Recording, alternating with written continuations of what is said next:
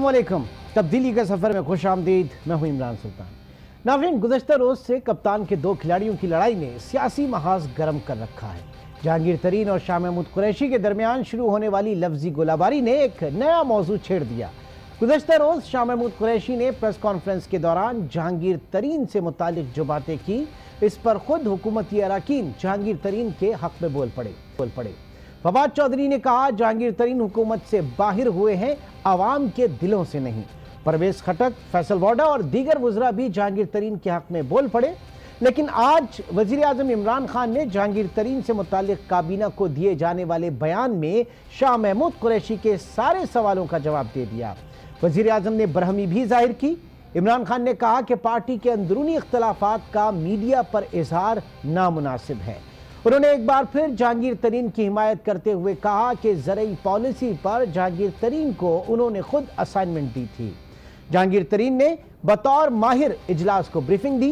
उन्होंने साथ ये भी वाजे किया कि इजलास में कौन शरीक होगा और कौन नहीं, ये मेरी सवाबदीद है। इमरान खान ने मामले को ख़त्म करने के लिए ये अल्फाज कहे कि शाह महमूद कुरैशी और जहांगीर तरीन दोनों सीनियर रहनुमा हैं। लेकिन पूरी पार्टी दरपेश चैलेंजेस के मुकाबले के लिए इतिहाद जाहिरा करे। मुल्की सियासी सूरत हाल पर बात करने के लिए हमारे साथ मौजूद हैं कराची स्टूडियो में ब्यूरो चीफ कराची रफत सईद और इस्लामाबाद से हमें ज्वाइन किया है ब्यूरो चीफ इस्लामाबाद तारिक चौधरी ने। और नाजरीन इस प्रोग्राम के आखिर में हम बीआरटी मंसूबे के हवाले से भी बात करेंगे, जो कि खैबर पख्तूनख्वा हुकूमत के गले की हड्डी बनता जा रहा है। लेकिन पहले आज ज़रा बात करेंगे कल वाले टॉपिक, जो कि कल से आज चल रहा है और इस वक्त इस बड़ी बातें हो रही हैं इस पर और ये जो बात है शाह महमूद कुरैशी और जहांगीर तरीन तनाज़े की। तारिक चौधरी साहब, आज काबीना इजलास में क्या हुआ? वहाँ पे क्या चीज़ लोगों ने ऑब्ज़र्व की? आ, कुछ चीज़ें यकीनन आप तक भी पहुँची होंगी। आप भी सुबह से मालूम में लगे होंगे। वहाँ पे क्या रिएक्शन था आज लोगों का काबीना के इजलास में? देखिए आज चूँकि सबसे ज़्यादा हॉट मौजू तो यही था कि जहांगीर तरीन साहब और कुरैशी साहब के दरमियान जो कंट्रोवर्सी जन्म ली है उसका क्या नतीजा निकलता है? तो उसके लिए हमने एक बड़ा अच्छा तरीका अख्तियार किया आज कुरैशी साहब ने टूरिज़म के कॉन्फ्रेंस में आना था। तो अपने रिपोर्टर से दरख्वास्त की कि जब कुरैशी साहब वहाँ पर आएँ तो आप उनसे बात करें और उनसे ये सवाल पूछें तो आपको पता चल जाएगा कि कुरैशी साहब आगे से क्या करते हैं और उससे भी ये अंदाज़ा हो जाएगा कि अब ऊँट किस करवट बैठेगा। तो वहाँ कुरैशी साहब ने बाकी बातें तो बड़े जो, जोश खरोश से की जैसे वो करते हैं। टूरिज़म के बारे में बातें की लेकिन इस सवाल के बारे में बार बार पूछने के बावजूद उन्होंने इसका जवाब नहीं दिया। हमारे पास हमारे पास शॉर्ट भी मौजूद हैं तो इस बात से कतराते रहे। यूँ लगता था जैसे ज़ुबान बंदी हो गई हो। फिर उसके बाद आज वफाकी काबीना के अजलास में अगरचे बहुत अहम एजेंडा आइटम थे। लेकिन हमारे यहाँ चूँकि सियासी बातें ज़्यादा चलती हैं और ख़ास तौर पर कंट्रोवर्सीज जो हों, वो ज़्यादा जो बिकती हैं मार्केट में तो उस हवाले से भी जो हमारी तलात यही थी कि प्राइम मिनिस्टर साहब ने कहा कि वजरा जो है, वो ज़ुबान बंदी करें, एक दूसरे के ख़िलाफ़ बयानबाजी ना करें और जो बाहमी मामला हैं, उनको पार्टी प्लेटफॉर्म पर हल करें बाहमी मीटिंग में हल करें, उनको इस तरह से मीडिया में न लेके आएँ, पब्लिकली न लेके आएँ। और प्राइम मिनिस्टर ने ये बातें जो हैं कहीं अपनी काबीना के अरकान को मुखातब करके और काबीना के अजलास के बाद जो गैर रस्मी मीटिंग होती है हमेशा वजरा की, उसमें भी ये बातें हमारी इतला के मुताबिक की हैं। लेकिन सबसे अच्छी इसकी जो तस्दीक है दो जगहों से होती। एक तो जो हमारे वज़ीर इतलात हैं जब उन्होंने अपनी प्रेस ब्रीफिंग की तो उन्होंने कहा कि ये स्वाबदीद प्राइम मिनिस्टर की है कि वो पी टी आई के वजरा हों या कोई और वजरा हों सबको सब जो है वज़ीर ज़रूर हैं, लेकिन फ़ैसले का अख्तियार जो है वो प्राइम मिनिस्टर को है और प्राइम मिनिस्टर की साबदीद है कि किसको किस इजलास में बुलाते हैं किससे क्या काम लेते हैं। फिर इस बात की तस्दीक आज शाम को असद उमर साहब ने की। उन्होंने कहा कि हम ये समझना चाहते थे कि ज़रात के मामला किस नहज पर चल रहे हैं। तो प्राइम मिनिस्टर ने कहा कि तरीन साहब को बुलाते हैं वो हमें बताएँगे कि ज़रात किस नहज पर है और फिर दो घंटे तक ब्रीफिंग दी। तो मेरा ये ख्याल है कल जो हमने बात की थी और फिर आज भी बात की है कल मैंने अर्ज़ किया था कि मुझे लगता यूँ है कि पलड़ा बारी रहेगा तरीन साहब का। जिस तरह से हम्म। कल वजरा की फौज ज़फ़र मौज ने उनकी सपोर्ट की थी खुलकर। मुराद सईद से लेकर परवेज खटक तक और फवाद साहब से लेकर स्पीकर कौमी असम्बली तक सब लोगों तक सबने जो बातें की आज वो ड्रॉप इस तरह से हुआ कि आज प्राइम मिनिस्टर ने खुद सबको कह दिया कि आइंदा कोई इस किस्म की गुफ्तु मंजर आम पर ना आए इस तरह की गुफ्तु पब्लिकली न की जाए। अब देखना यह है कि प्राइम मिनिस्टर की ये हदायत जो है इस पर अमल दरामद कब तक होता है? ठीक कब तक होता है नहीं है। एक एक तो ये कि क्या जो प्राइम मिनिस्टर ने इंटरवीन किया कल ये तमाम टीवी चैनल्स पे तमाम जो टॉक शोज़ हैं उन पे हॉट डिबेट इसी के ऊपर थी। प्राइम मिनिस्टर ने थोड़ा सा लेट नहीं इंटरवीन किया अगर किया तो या जब ये सूरत देख रहे थे कि इतने अरसे से चल रही है तो वो पहले ही उन्हें इसकी इस, इस बारे में कुछ इंस्ट्रक्शंस दे देनी चाहिए थी। दूसरी ये कि क्या वाकई क्योंकि बड़े एक मंझे हुए सियासतदान हैं और कल ख्वाजा आसिफ की तरफ़ का जो ट्वीट था उसमें भी थोड़े से एक एक सिंपति जो है वो शाह महमूद कुरैशी की तरफ़ नज़र आई। क्योंकि अब जो अपोजिशन जो वो वाला कैंप है, वो भी उसको कैश करना चाहेगा। ऐसे में शाह महमूद कुरैशी साहब खामोश रह जाएँगे? देखिए इमरान, जो बातचीत, जो कल हमने बात की थी और उसमें बड़ा वाज तौर से आज ये लगता है जब प्राइम मिनिस्टर का जो बयान है, उन्होंने एक लिहाज से अगर ये कहा जाए कि ये शटअप कॉल थी तो मेरे ख्याल में इससे ज़्यादा कोई मुनासिब लफ्ज़ मेरे ख्याल में नहीं हो सकता। उन्होंने लेकिन साथ साथ डिप्लोमेसी से उन्होंने ये भी कहा कि दोनों अहम हैं हम्म। लेकिन बहुत वाज झुकाव उनका जहांगीर तरीन की तरफ़ नज़र आया है हम्म। इसके साथ आपने ये कहा कि क्या पहले तो मेरे ख्याल में तनाज़ा मैंने पहले भी कहा था कि बहुत पुराना तनाज़ा है वज़ी अजम इसको पहले कंट्रोल कर लेते तो इतनी मतलब बातें नहीं होती इतना मज़ाक नहीं बनता इतने लोग डिस्कस नहीं करते वो कर सकते थे क्या ज़रूरी था कि इतने तनाज़े के बाद इतने बयान के बाद जो है अभी तो वो चीज़ सामने नहीं आई कि उन्होंने चौधरी सरवर से क्या बात की है? कहा। यही जा रहा है? तारीख की गुफ्तु मैंने सुनी भी थी शाम को कि कह रहे थे कि बल्दियाती उमूर पे कुछ डिस्कस कर रहे थे। मेरे ख्याल में बल्दियाती उमूर नहीं, मामला यही है। इसी तनाज़े पर बात हो रही है। बहुत वाज तफरीक है, बहुत वाज झगड़ा है आपस में और यकीनन ये आगे चल के सर उठाएगा। जिस तरह का मिजाज शाह महमूद कुरैशी का है वो शायद खामोश ना रहें। आगे चलकर वो बात ज़रूर करेंगे। इस वक्त मसलहतन अगर खामोश हो जाएँगे ये तासर देने के लिए कि इमरान खान ने कहा है और उनकी बात तो मुझे लगता नहीं कि आने वाले दिनों में ऐसा होगा। हम्म। और फिर जो इनके वज्रा की टीम है ये किसी कंट्रोल में नज़र नहीं आती। आपने देखा माजी में भी चाहे फैसल वाडा हों चाहे जहांगीर हम्म। चाहे ये उनके जो दीगर वज्रा हैं मुराद सईद हैं इस तरह कई जैलें उनके पास भी हैं अच्छे इस तरह की बातें करने वाले और एक से बढ़कर एक है कोई नहीं रुकेगा क्योंकि डिसिप्लिन कोई नहीं है इस पार्टी में जो हम देखते हुए चले आ रहे हैं जिस सहारे से ये चल रही है जिस जिन सुतुओं पर ये कायम है ये सबको पता है किस तरह से हर तरफ़ से सपोर्ट मिली हुई है और कोशिश हो रही है कि नया पाकिस्तान वाकई बन जाए जो करप्शन से पाक हो। तारिक चौधरी साहब ये ना इस इस वक्त कहा यह जा रहा है कुछ इतलात ऐसी हैं कि दो ग्रुप जो हैं इसमें एक एक ग्रुप जो है उसमें जहांगीर तरीन साहब फवाद चौधरी परवेज खटक और उमर यूब के नाम इसमें लिए जा रहे हैं और जो दूसरा ग्रुप है उसमें शाह महमूद कुरैशी असद उमर शरी मजारी और नईमुल हक। कल जहांगीर तरीन से जब मीडिया की बात हो रही थी तो उन्होंने नाम लिए बगैर असद उमर के ऊपर भी तनकीद की थी। वज़ीर ख़जाना के ऊपर कि इस वक्त माशी बोरान जो है, इसमें फैसले कर लेने चाहिए। क्विक हमें फैसले, फैसला गलत हो, वो बेहतर है, कोई फैसला ना करने से। तो ये ये इस वक्त आपस की जो चपकलश है, ये जो दो ग्रुप्स हैं, ये आगे कम तो होती हुई नज़र नहीं आ रही है तो बढ़ेगी कहीं ना कहीं जाकर। देखिए, पहली बात तो ये है कि अभी तक जो क्रैशी साहब हैं उनकी हमायत में अगर कोई लोग हैं भी तो वो खुलकर सामने नहीं आए जिन हम्म। लोगों का जिन दोस्तों का आपने नाम लिया है काबीना के अरकान का हो सकता है वो खामोशी से उनको सपोर्ट कर रहे हों लेकिन जिस तरह से तरीन साहब के साथियों ने खुल के उनका साथ दिया है और खुल के बयानबाजी की इस तरह से कुरैश साहब के दोस्तों मंजर आम पर नहीं आए देखिए बुनियादी इशू ये है कि जब तरीन साहब जो हैं जिसकी तरफ़ पहले मैं वापस जाऊँगा जिसकी तरफ़ रिफत साहब ये कह रहे हैं कि मामला ख़त्म होता नज़र नहीं आता उसकी वजह यह है कि ये माजी के शख्साने हैं जो अभी तक जो है वो अपनी जगह पर कायम है। जब आम इंतबात थे तो तरीन साहब तो इलेक्शन नहीं लड़ सकते थे। कुरैशी साहब का यह ख्याल था कि अब वो मैदान में अकेले खड़ी हैं, लिहाजा उन्होंने सूबाई सीट पर कंटेस्ट किया था। लेकिन वहाँ वहाँ ये हुआ कि पी टी आई का एक नौजवान रहनमा, जिसके पास पैसा भी था, जिसके पास असर रसूख भी था, और फिर ये भी मुबैना तौर पर कहा जा रहा है कि उसको कुछ बड़े लोगों की हमायत हासिल थी, उसको आज़ाद कैंडिडेट खड़ा किया गया। आज़ाद कैंडिडेट ने कुरैशी साहब जैसे बड़े हैवी वेट को हरा दिया सूबाई इलेक्शन में। तो उससे उनकी जो वजारत से अला की उम्मीद उम्मीद थी वो तो पूरी ना हुई। फिर उससे ऊपर से तमदरीफी उनके नज़दीक, उनके पॉइंट ऑफ़ व्यू से ये हुई कि उसी नौजवान को तरीन साहब उठा के ले आए, अपने जहाज़ में बिठाकर और उनको पी टी आई में शामिल करा दिया। यानी जिस शख्स ने आज़ाद इलेक्शन जीता था कुरैशी साहब के सामने, उसको पी टी आई में शामिल करा दिया गया। तो उस वक्त से ये रंजिश बाकी है चूँकि वो अपना हक समझते थे कि वो पंजाब की चीफ मिनिस्ट्री के लिए के लिए किस्मत आजमाई करें। तो वो मामला तब से चला आ रहा है और आज तक चला आ रहा है। अभी आइंदा हो सकता है कभी कोई सीट खाली हो जाए, सूबाई असम्बली की और कुरैशी साहब की कोई दोबारा उम्मीद जो है पैदा हो जाए, लेकिन फ़िलहाल तो उनको पंजाब की वजारत आला पर अपने आप को ले जाना मुश्किल नज़र आता है। अगर कोई सीट खाली हुई, फिर इलेक्शन लड़ना पड़ेगा, इलेक्शन लड़के जीतना पड़ेगा, वो लंबी बात है। इस वक्त तो सूरत ये है कि पंजाब में जो ग्रुप डोमिनेट कर रहा है जो कि उस्मान बुजदार के पीछे बैठकर पंजाब को डोरियाँ हिला रहा है। अगरचे पावर के मराकज़ बहुत से हैं, सरवर साहब भी हैं, परवेज़ अली साहब भी हैं, अलीम खान साहब थे, लेकिन वो जेल में हैं। इसके बावजूद पंजाब में जो डोमिनेट कर रहा है ग्रुप वो तरीन साहब का है। और ज़ाहिर है, असल बैटल फ़ील्ड जो है पंजाब है, वहाँ हर कोई मनोपली चाहता है और कुरैशी साहब का और तरीन साहब का तो मसला ये है कि वो साउथ पंजाब में अपने अपने मनोपली चाहते हैं। इस मनोपली की जंग जो है, वो ज़ाहिर उस वक्त तक ख़त्म नहीं हो सकती, जब तक इनमें से या तो कोई जीत ना जाए बहुत अच्छे तरीके से, बहुत ज़्यादा बालादस्ती हो जाए, या फिर ये है कि दोनों में से कोई एक किसी और प्लेटफॉर्म पर हो और दूसरा किसी और प्लेटफॉर्म पर हो। जब तक दोनों एक प्लेटफॉर्म पर हैं, जब तक दोनों ग्रुप एक पार्टी में हैं, तब तक ये कशमकश और चपकलेश जो है, ये चांदमारी चलती रहेगी। ठीक।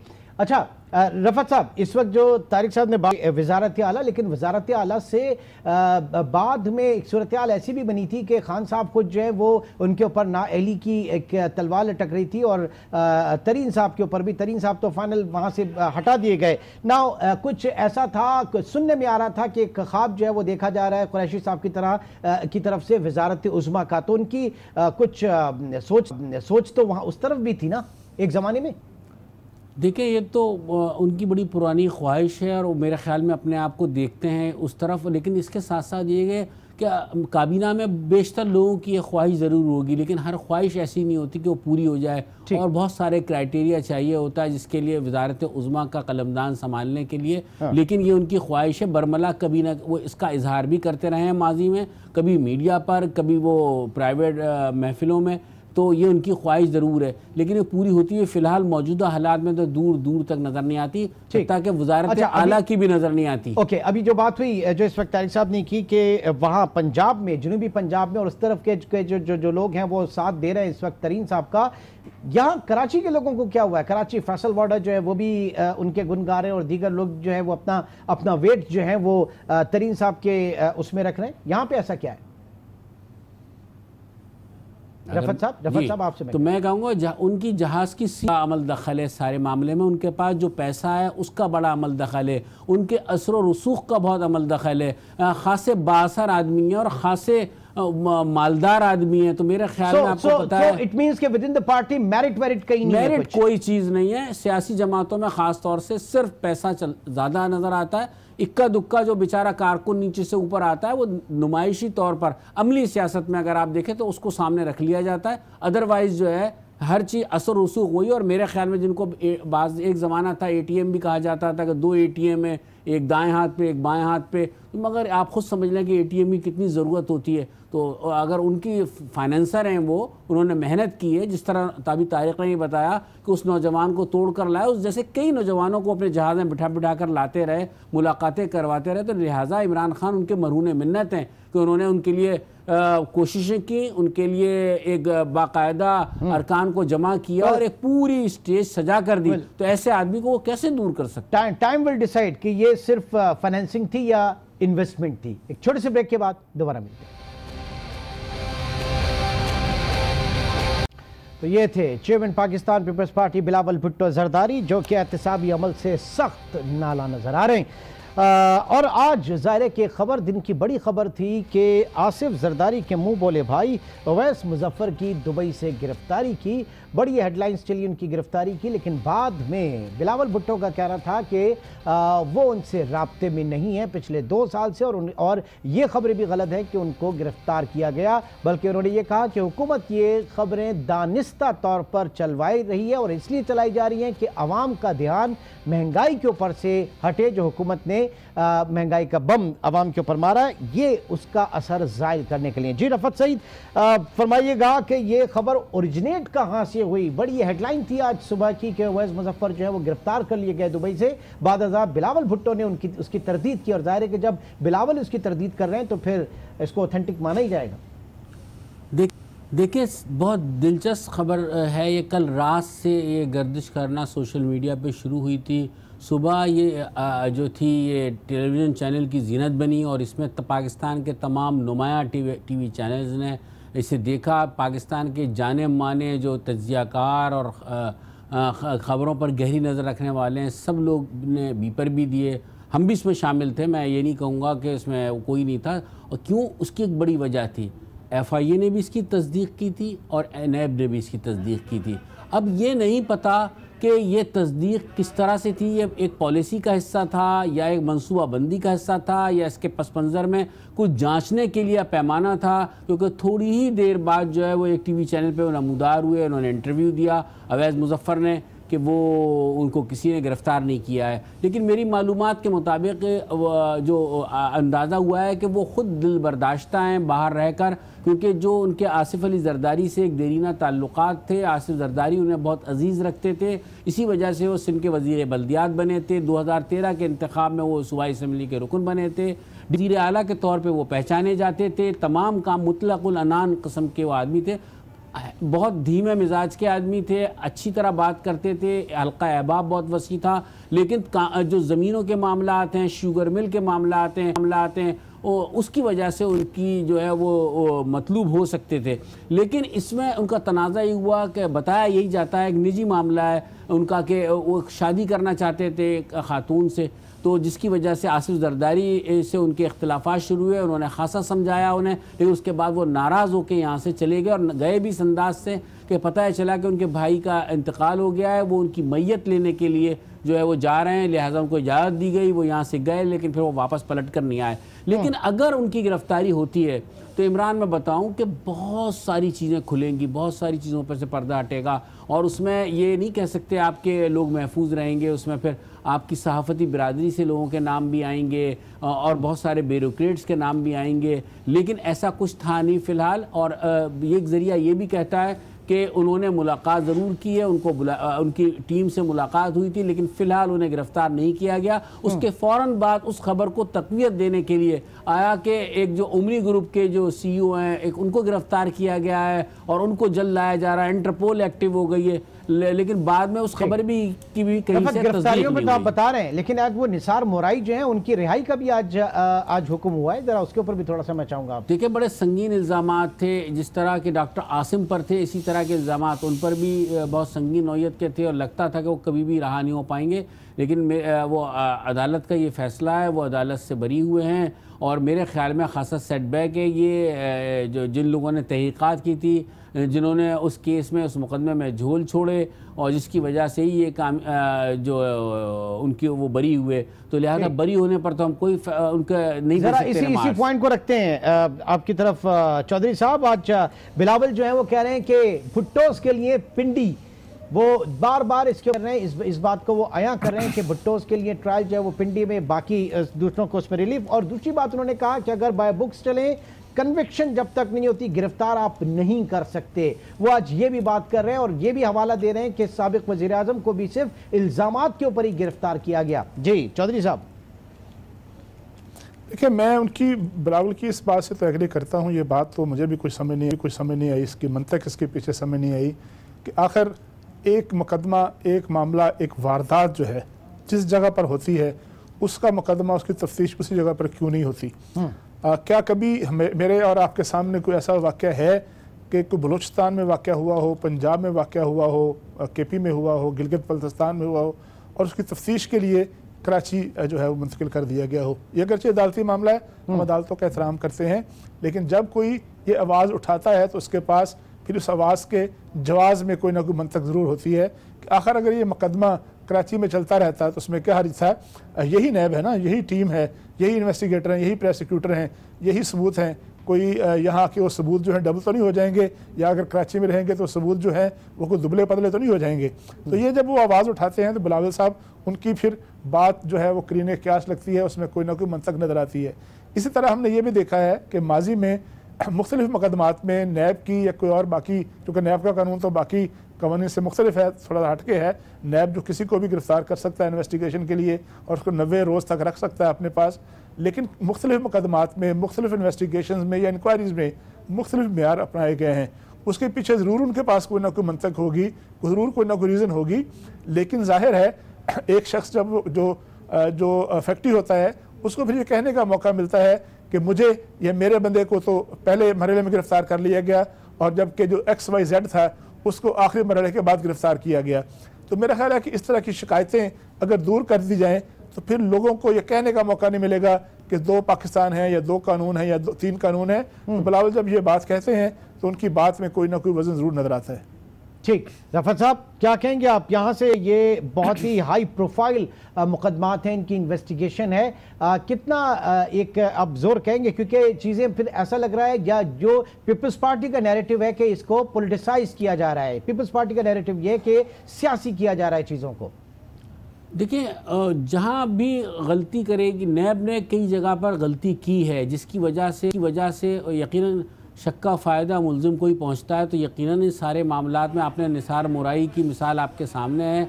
तो ज़रूरी नहीं है कि जितनी भी ज़ोर शोर से तफ्तीश जारी है, ये सब चीज़ें अदालत में साबित भी हो सकें। फिर इसमें एक चीज़ और मैं आपको बता दूँ कि जो अवैस मुजफ्फ़र जो हैं उनका आसिफ अली जरदारी से गुजशत ढाई साल से कोई रबता नहीं है। बिल्कुल कता ताल्लुक़ लिहाजा इस चीज़ को पीपल्स पार्टी के साथ मिलाकर देखना ये ज़रूर हो सकता है कि कहीं ये सोच पाई जाती हो कि अगर अवैस मुजफ्फ़र टप्पी को यहाँ लाया जाता है तो उसके ज़रिए कुछ प्रेशराइज किया जा सके, कोई दबाव लाया जा सके। ये किसी सोच का हिस्सा हो, जहाँ ये प्लान तरतीब पाया हो या उन्होंने सोचा हो नैब ने सोचा हो कि इस तरीके से हम दबा सकते हैं। तो मेरे ख्याल में फ़िलहाल दो ढाई साल से माजी में जो मामला में वो मुलविस रहे या कई मामला फाइनेंशियल मामला अगर कहे जाते हैं उनके हवाले से तो वो बिल्कुल हो सकते हैं उसमें तफ्तीश भी हो सकती है लेकिन फ़िलहाल पार्टी से कोई ताल्लुक़ नहीं है। हाँ ये ज़रूर है मैं आपको ये बता दूँ कि इससे मदद ज़रूर ली जा सकती है ये कहीं ना कहीं लीड का ज़रिया ज़रूर बन सकता है। ठीक है जी। अब आपने बात की दूसरी जो आप कह रहे थे वो जिसका आपने ज़िक्र किया था मैं भूल गया वो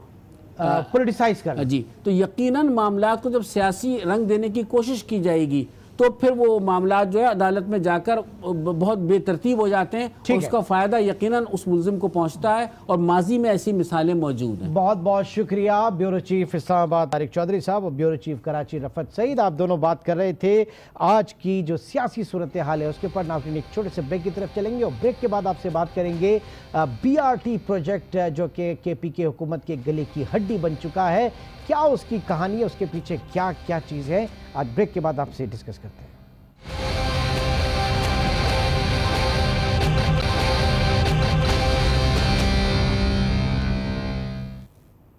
वेलकम बैक नाजरीन, पेशावर बस रैपिड ट्रांसमिट मंसूबा खैबर पख्तूनख्वा हुकूमत की गले की हड्डी बन गया है, जो अब निगला जा रहा है, न ही उगला। आज इस मंसूबे से जुड़े दो अहम नुमाइंदों को फारिग कर दिया गया। सेक्रेटरी ट्रांसपोर्ट और डायरेक्टर जनरल पीडीए को अहदों से हटा दिया गया है। वजह, बस मंसूबा वक्त पर मुकम्मल न होना करार पाया। इस पर बात करते हैं नुमाइंदा आज न्यूज़ पेशावर शहाबुद्दीन से। शहाबुद्दीन, बताइएगा, आज जो दो अहम लोगों को फारिग कर दिया गया, इसकी क्या वजह है? क्योंकि ये भयानक खाब बनता जा रहा है ये ये मंसूबा हुकूमत के लिए। जी, बिल्कुल, ये तो होना ही था क्योंकि बस रेपिड ट्रांजिट मंसूबे में किसी न किसी की कुर्बानी देनी थी, क्योंकि इस क्योंकि इस पे जो तनकीद हो रही थी, जो हुकूमत की तरफ़ से बार बार तारीखी दी जा रही थी, और फिर वज़ी अला खैबर पुख्तनख्वा वज़ी इतिहाद खैबर पुख्तनख्वा, और फिर इस मनसूबे से वाबस्ता अफसरान खसूस director general Peshawar development authority जो बार बार ये कह रहे थे कि पहले गुजशत दौरी हुकूमत में छः महीने का और फिर बाद में ये हुकूमत जब से आई है तो तकरीबन तीन तारीखें इस हुकूमत ने दे दे दे दिए। तो आवाम को कुछ दिखाने के लिए किसी न किसी की कुर्बानी देनी थी। तो आज हुकूमत ने उस सिलसिले में सेक्रेटरी ट्रांसपोर्ट कामरान रहमान और director general province Peshawar development authority Israr को कुर्बानी का बकरा बना दे दिया। हालाँकि ये पोस्टिंग ट्रांसफ़र तो रूट लाद है। आज अगर आप देखें तो इसरार और कामरान रहमान के अलावा और भी बहुत से अफसरान ट्रांसफ़र हो गए, गो कि उनका ताल्लुक बीआरटी के साथ बिल्कुल नहीं था।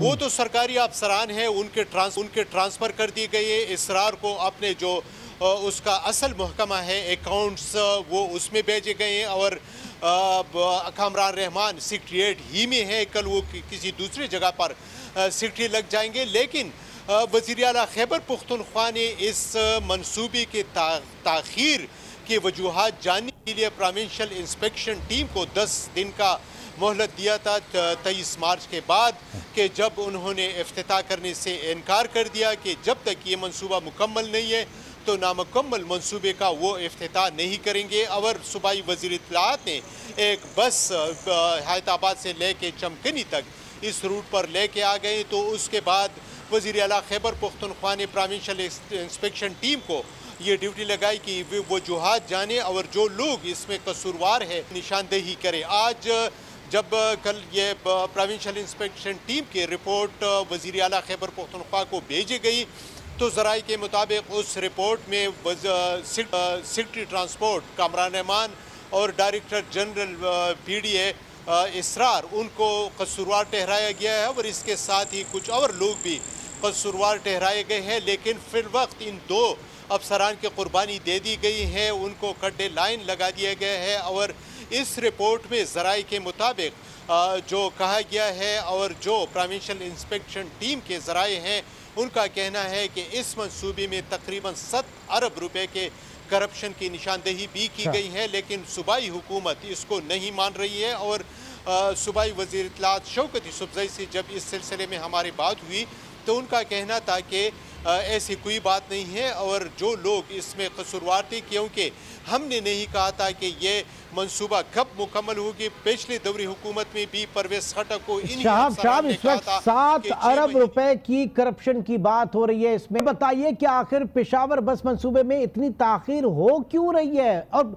हुकूमत का अब क्या मौकफ है इसके ऊपर शाहब जी इसमें ताखिर में ताखिर जो वजूहत है वो तो कई वजूहत है। इसमें बार बार डिज़ाइन तब्दील करना और इसमें इनको मुख्तलिफ़ किस्म के मसाइल पेश आए हैं क्योंकि इसका कोई डिज़ाइन पहले से तैयार नहीं किया गया था। अभी जो रिपोर्ट प्रोविंशल इंस्पेक्शन टीम की आई है तो उसमें ये भी बताया गया है कि इसके लिए कोई प्लानिंग नहीं की गई थी। और ये दुनिया का वाद मनसूबा है कि वो ये बग़ैर प्लानिंग की शुरू किया गया और अभी तक बग़ैर प्लानिंग की ही जारी है तो इसमें वजूहत कई भी है कि क्योंकि जो एशियन डेवलपमेंट बैंक है फंड्स दे रही है इस मनसूबी के लिए और पिशावर डेवलपमेंट अथॉरिटी ये दो इसके रिस्पॉन्सिबल हम्म। जो इदारे हैं एशियन डेवलपमेंट बैंक का तो कहना है कि ये हमारी वजह से नहीं हुई है क्योंकि शुरू ही में शुरू ही में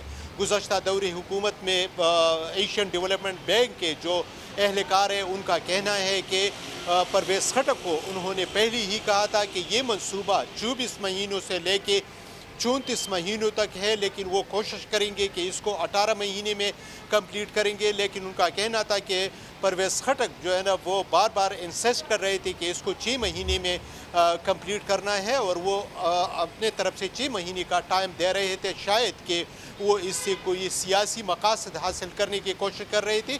हमारे तरफ़ से ये कभी भी नहीं कहा गया कि ये छः महीने में कंप्लीट होगी। उसके बाद जब ये हुकूमत बरसर इकतदार आई तो ये भी इसमें कई ये स्टेशन नामुकम्मल थे, इसमें अंडर पासिस में मसले थे, इसमें जो फ्लाईओवर्स है, जो ओवर हेड ब्रिज है, उसमें छोटी गाड़ी तो टर्न कर सकते हैं, जहाँ पे ये मोड़ है ओवर ओवरहेड में लेकिन जो बड़ी गाड़ियाँ अभी आई हैं तो वो बड़ी गाड़ी इसमें टर्न भी नहीं कर सकती।